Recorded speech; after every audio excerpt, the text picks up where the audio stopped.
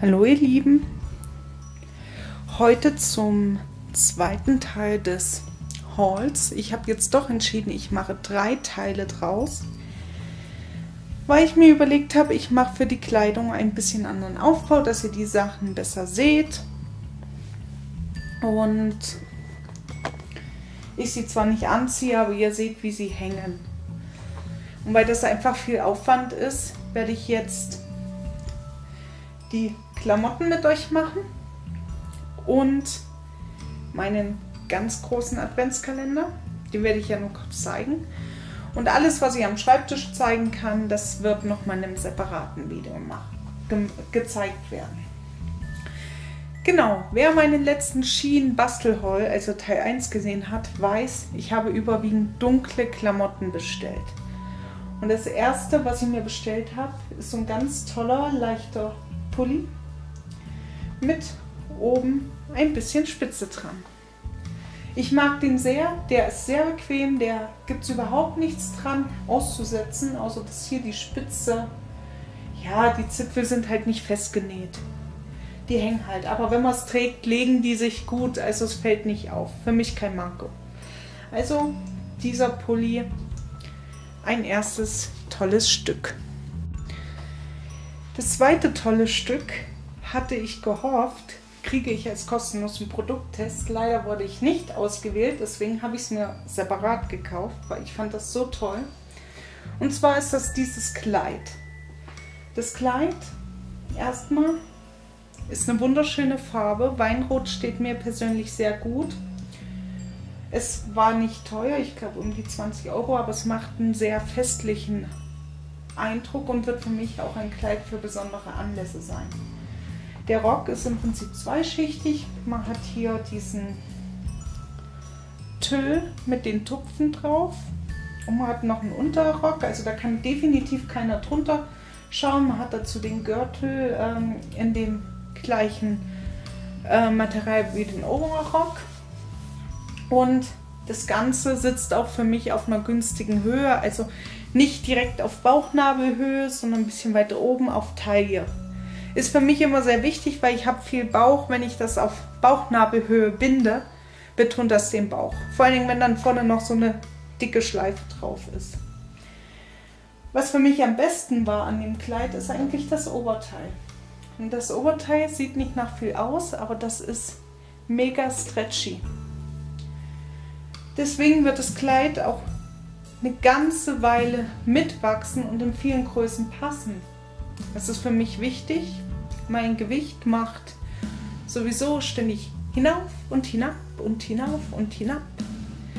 Weil ich habe ja eine Insulinresistenz, da ist das Ganze mit dem Gewicht nicht so einfach. Es kommen immer mal Events, wo ich mehr esse, als ich sollte, aber insgesamt bin ich ja am Abnehmen, das heißt, das Gewicht geht auch runter ich möchte trotzdem, wenn ich Kleidung kaufe, dass die auch, wenn ich jetzt mal eine Schwankung nach oben von 5, 6 Kilo, das merkt man durchaus an der Kleidung habe, dass die Kleidung das trotzdem mitmacht. Gerade bei einem Kleid, was ich halt nicht jeden Tag anziehe, möchte ich dann, wenn ich es brauche, dass es passt.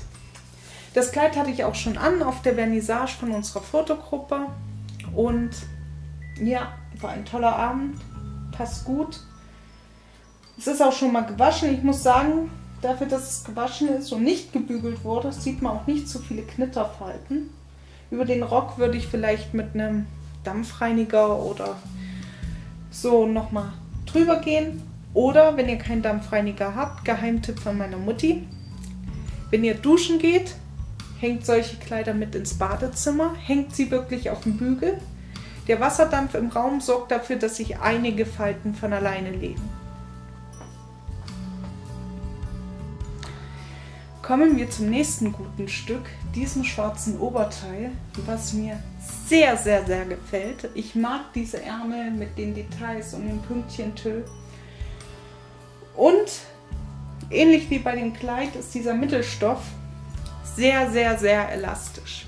Das heißt, als ich das ausgepackt habe, dachte ich, oh Gott, drei Nummern zu klein bestellt, das passt nie im Leben über meinen Bauch, das ist viel zu kurz, das ist viel zu eng, das passt nicht.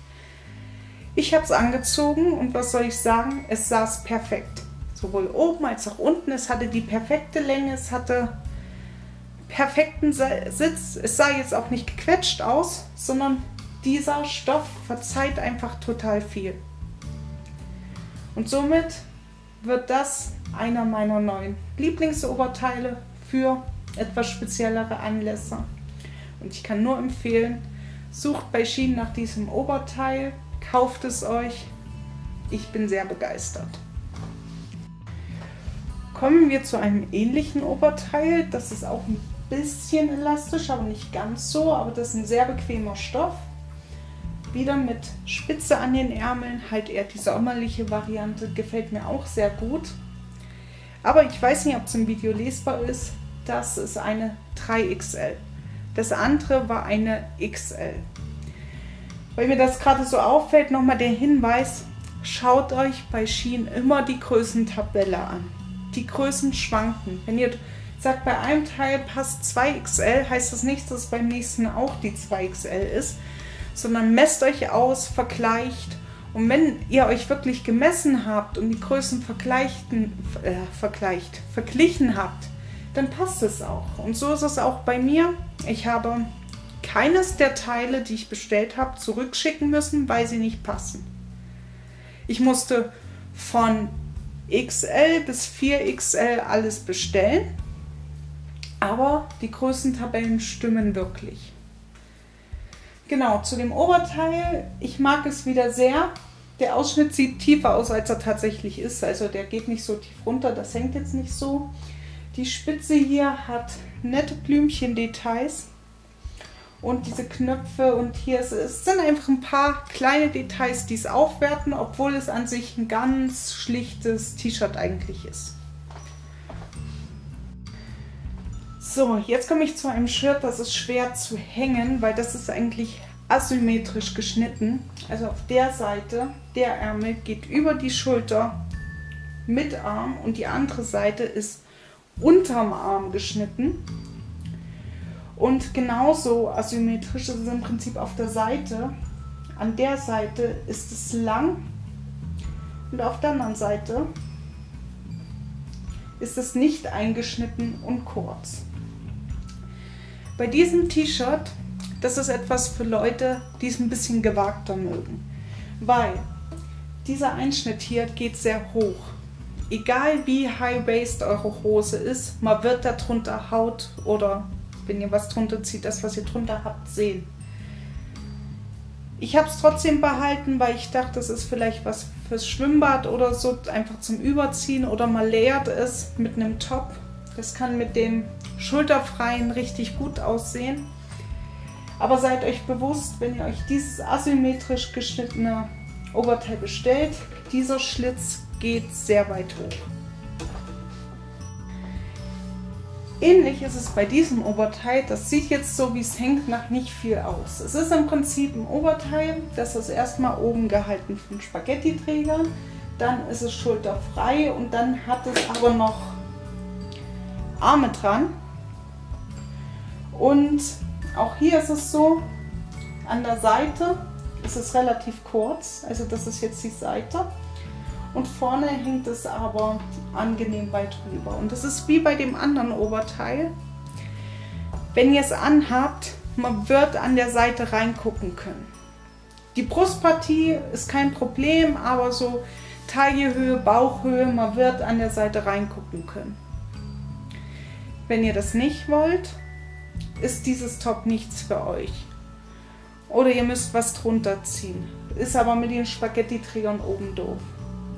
Ich habe gesagt, ich behalte es trotzdem erstmal, weil es ist auch ein Top. Du siehst nicht an, wenn es so groß wird. Es sitzt sehr locker, es wächst viel mit. Und ich möchte ein bisschen mehr Abwechslung in meinem Kleiderschrank. Ich möchte nicht mehr nur die einfachen T-Shirts und so weiter. Deswegen habe ich gesagt, ich behalte es erstmal. Ich weiß noch nicht, wie ich es stylen werde, wie ich es tragen werde, wie oft es zum Einsatz kommt. Aber ich werde es behalten. Und wenn ich was im Kleiderschrank habe, dann ziehe ich es auch an. So, jetzt sind wir auch schon beim vorletzten Teil und beim letzten schwarzen Oberteil. Heißt nein, es ist nicht das vorletzte Teil, der Adventskalender kommt ja noch. dieses Oberteil geht jetzt weniger in die Richtung Basics, die man im Schrank haben muss. Aber ich bin Katzenfan und ich liebe diese Cat, Cat Kaktusse, keine Ahnung, wie man das sprechen soll. Und ich kenne eine YouTuberin, ähm, die aus dem englischsprachigen Raum kommt, die sehr viel diese Idee genäht, gezeichnet und so weiter hat. Und das erinnert mich dran und ich fand die einfach süß gemacht. Das T-Shirt hat auch eine tolle Qualität. Es ist sehr weich. Und ja, das ist so ein jeden Tag Shirt. Das kann man immer anziehen. Damit ist man eigentlich nie falsch gekleidet. Und dann habe ich hier noch eins, das geht so ein bisschen in eine ganz andere Richtung. Ähm, das ist weiß. Das Material ist genauso schön weich und fühlt sich genauso schön an wie das von dem mit den Katzenkakteen. Hier hat mich einfach das Muster begeistert, weil es ist detailreich, verspielt und trotzdem symmetrisch und geradlinig. Es ist aber nicht komplett symmetrisch, weil man hier immer mal solche verwaschenen Akzente mit drin hat. Es hat auch ein bisschen was Verträumtes, weil es Richtung Traumfänger geht. Und es ist mal kein Schwarz.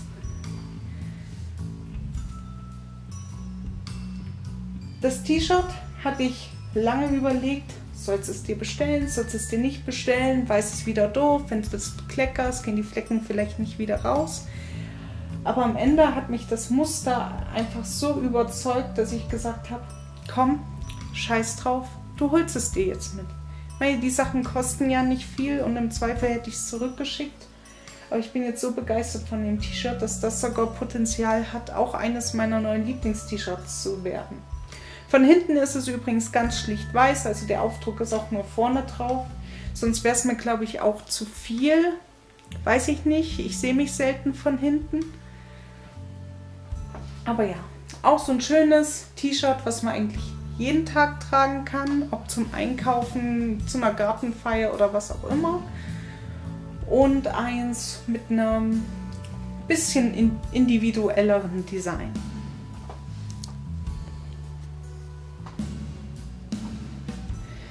So, ihr Lieben, dann sind wir auch schon beim letzten Teil. Da möchte ich euch nur kurz was zu sagen.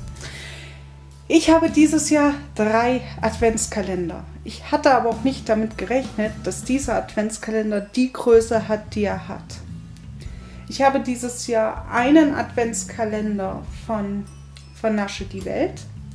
Den zeige ich euch, sobald er ankommt. Ich habe heute dieses Jahr diesen Adventskalender von Brand News. Und ich habe einen Adventskalender von AliExpress. Den zeige ich euch im dritten Teil. Den Adventskalender-Inhalt werde ich euch dann im Advent zeigen, weil auch ich möchte meinen Adventskalender im Advent auspacken. Ich bin kein Adventskalender-Unboxing-Channel. Ich packe zwar gerne aus, aber ich mache das, die drei, die ich für mich bestelle, packe ich dann auch erst im Advent aus. Wollte euch nur zeigen, den gibt es dieses Jahr zu sehen. Da sind Lebensmittel drin, ich glaube sogar Originalgrößen. Beim Vernasche die Welt sind auch Lebensmittel drin. Ich habe dieses Jahr keinen Bastelkalender, weil ich einfach zu viel habe und ähm, nicht wüsste, was ich da angeben soll. Bei Kreativgrund zum Beispiel, was mir noch fehlt oder in welche Richtung ich gerne haben will. Da will ich erstmal verbrauchen. Da habt ihr auch schon an den Holz gesehen. Ich bestelle bestimmte Sachen nicht mehr, also oder weniger. Ein bisschen verfalle ich dann doch immer dem Shopping. Genau. Nur, dass ihr wisst, was dann kommt. Also den Adventskalender habe ich gekauft. Der sieht auch sehr gut aus. Macht erstmal einen Eindruck, der okay ist. Wie gesagt, er ist höher als erwartet, größer als erwartet. Der geht ja bis zur Türklinge, damit ihr eine Vorstellung habt. Also der ist durchaus hüfthoch. Und ja, die anderen beiden zeige ich euch dann, wenn sie da sind. Gut, dann war es das jetzt eigentlich mit Teil 2 von meinem großen letzten Haul und wirklich letzten Haul für dieses Jahr. Ich wünsche euch allen einen schönen Tag, einen schönen Nachmittag, einen schönen Abend, je nachdem, wann ihr das Video schaut. Und wir hören uns wieder beim nächsten Mal. Bis dann.